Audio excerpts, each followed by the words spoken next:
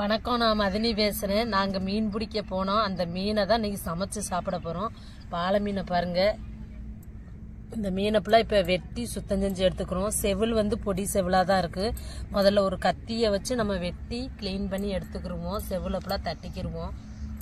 இங்கே பாருங்கள் எப்படி இருக்குன்னு பாருங்கள் பாலை மீன்.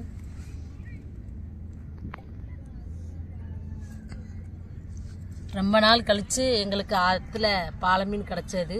ஓடையில். அதை பிடிச்சிட்டு வந்து நாங்கள் இப்போ சமைக்க போகிறோம்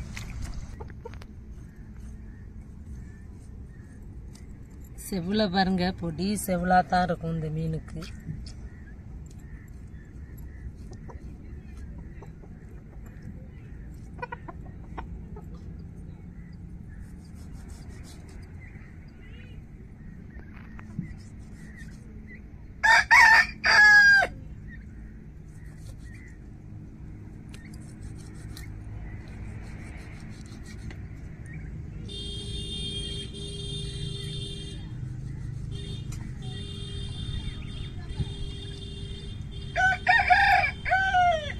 மீன் வந்து பொடி மீனுனால நம்ம தூள் உப்பு போட்டு உரசி எடுத்துக்கிடுவோம்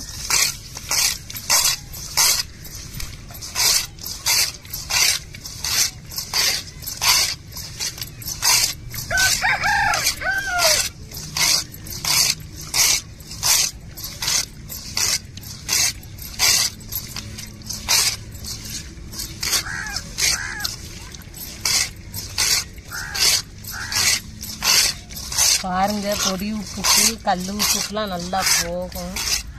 நான் மீன் பொடி மீனாக இருக்கிறனால நான் தூள் உப்பு போட்டு உரைக்கிறேன். மீன் உடஞ்சிடக்கூடாதுன்னு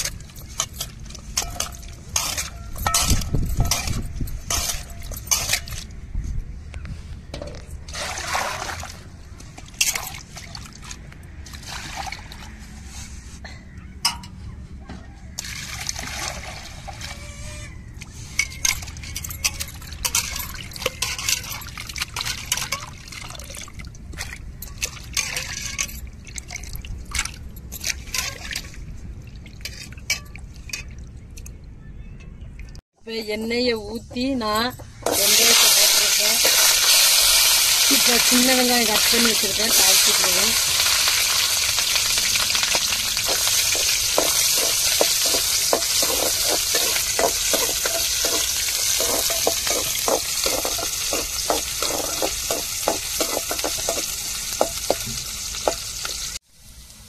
இப்போ கருவேப்பிலை சேர்த்துக்கிடுவோம்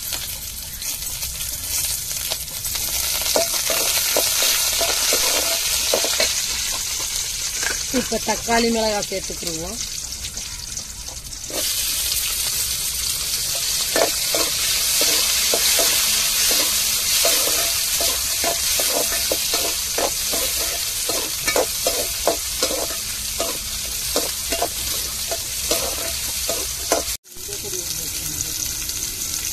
இப்போ அம்மியில் அரைச்சி எடுத்த தேங்காவையும் குழம்பு மசாலாப்படியும் சேர்த்துக்கிடுவோம்.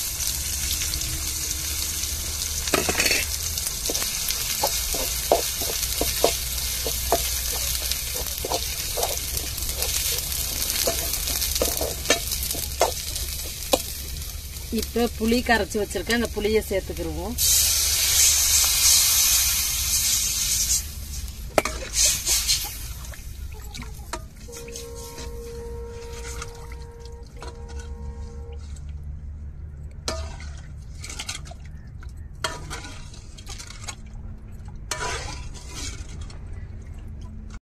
அரைச்சிட்டேங்க. இப்போ கொஞ்சோண்டு மஞ்சத்தூள் சேர்த்துக்கிருவோம்.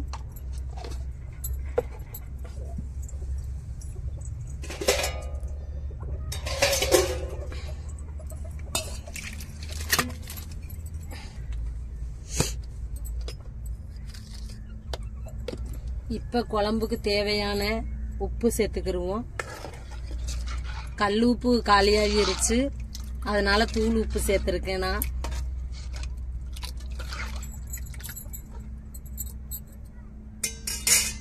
இப்ப நல்லா கொதிக்கட்டும். கொதிக்கவும் நம்ம வெட்டி சுத்தம் செஞ்சு வச்சிருக்க மீனை அப்படியே சேர்த்துருவோங்க. ஏன்டா நம்ம வெந்தயம் போட்டு தாளிக்கும் போது அந்த வாச வந்து நம்மளை தூக்குங்க. அவ்வளோ ஒரு வாசமாக இருக்கும். மீன் குழம்புக்கு மட்டும் வெந்தயம் போட்டு தாளிங்க. ரொம்ப சூப்பராக இருக்கும்.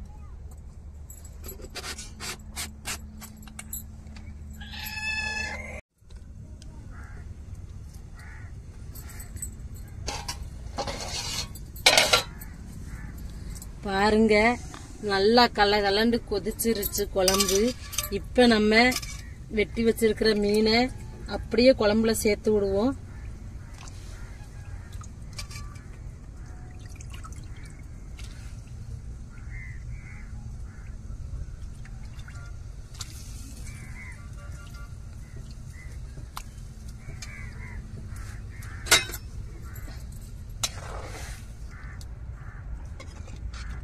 மீனெல்லாம் சேர்த்து விட்டாச்சு. நல்லா உப்பு காரம் சாரம் எல்லாம் இறங்கி குழம்பு நல்லா கொதிச்சு கொஞ்சம் வத்தி மேலே எண்ணெய் பிரிஞ்சு வரை நம்ம இறக்கிக்கிடுவோங்க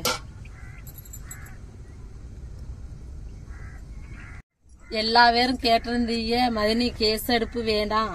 நீங்க விறகடுப்புலயே சமைங்க அதுதான் நல்லா இருக்குன்னு சொன்னீங்க.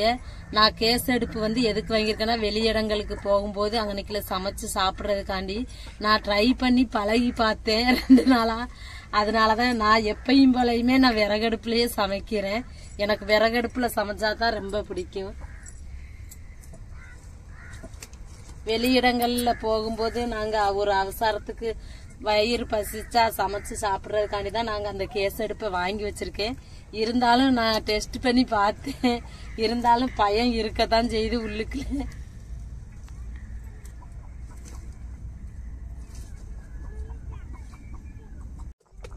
இப்போ நல்லா கம கமண்டு வாசத்தோட பாலை மீன் குழம்பு. நீங்களும் இந்த மெத்தட்லேயே சமைச்சு சாப்பிட்டு பாருங்க. உண்மையிலே டேஸ்டா இருக்குங்க. பாலை மீனை வந்து நான் காட்டியிருப்பேன் கையில வச்சு. இப்ப குழம்பு நல்லா வத்தி வந்துருச்சு. இப்ப இறக்கி சுட சுட பாலை மீன் குழம்பு வச்சு சாப்பிட்டுருவோம்.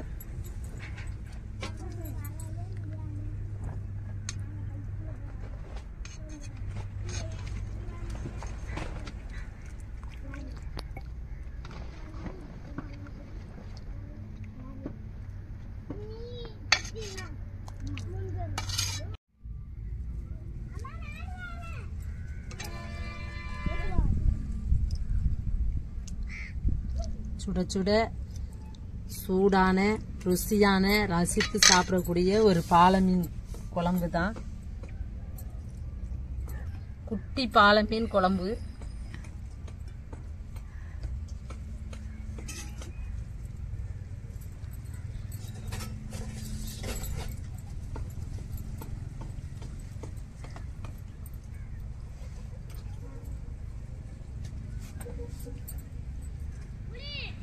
குட்டி பாலை மீனுங்க அப்படியே கடிச்சு சாப்பிட வேண்டியதுதான் செம்மையான டேஸ்ட்டுங்க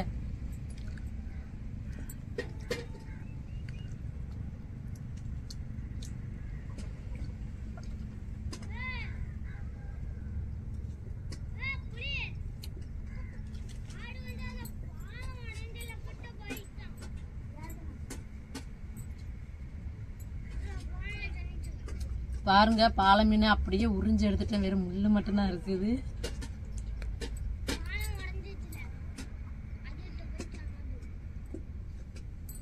உண்மையிலே குழம்பு வேற லெவல் தாங்க.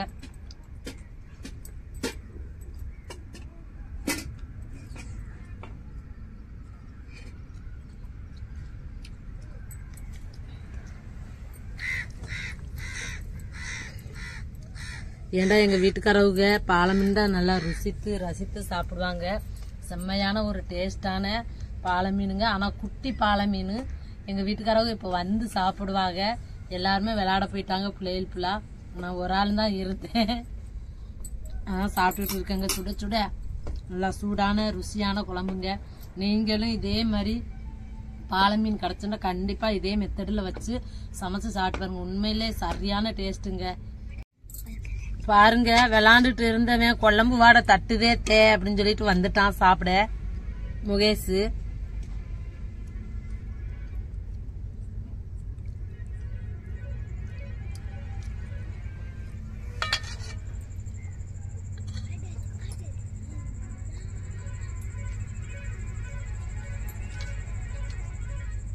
சாப்பிட்டுட்டு சொல்லணும்னே பாலை மீன் எப்படி டேஸ்டா இருக்குதான்னு நாங்க பாலை மீன் குட்டி மீனா இருந்தாலும் நாங்க விட மாட்டோங்க. ஏன்டா அந்த மீன் வந்து அவ்வளவு ஒரு டேஸ்டாவும் இருக்கும் ருசியாவும் இருக்கும்.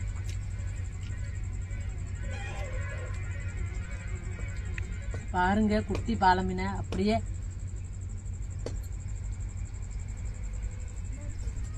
அப்படியே உறிஞ்சு சாப்பிட்டுட்டோம் சதைய.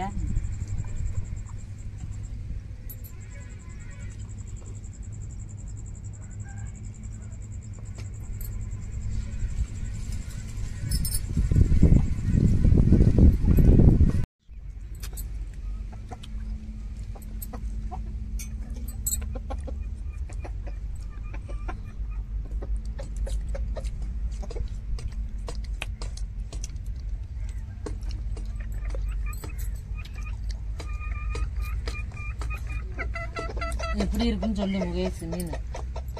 பாலை மீன் வந்து சூப்பரா இருக்கு.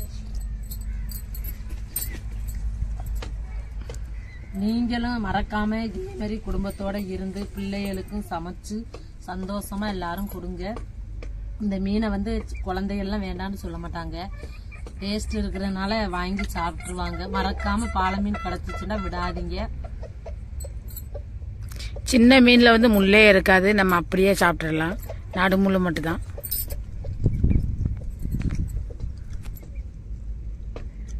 இந்த வீடியோ உங்களுக்கு பிடிச்சிருந்தா லைக் பண்ணுங்க ஷேர் பண்ணுங்க கமெண்ட் பண்ணுங்க எங்களுக்கு ஆதரவு கொடுத்து சப்போர்ட் பண்ணுங்க. எல்லா பேர்த்துக்கும் மனமார்ந்த நன்றிகள். எங்களுக்கு ரொம்ப சந்தோஷங்க. ரொம்ப நாள் கழிச்சு எங்களுக்கு குட்டி பாலை மீன் கிடைச்சது. அதுல ஆவல்ல சாப்பிட்டுக்கிட்டு இருக்கிறோம். நல்லா டேஸ்டா இருக்கும் இந்த மீன். கண்டிப்பா எங்க வீட்டுல எல்லாருமே சாப்பிடுவாங்கங்க விரும்பி பாலை மீன். கண்டிப்பா நாங்க பாலை மீன் எங்கடா கிடைக்கும்னு சொல்லிட்டு தேடிலாம் அலையுவோம். இப்ப எங்களுக்கு ரொம்ப நாள் கழிச்சு இந்த மழை பேஞ்சதுக்கு அப்புறம் கிடைச்சிருக்கு.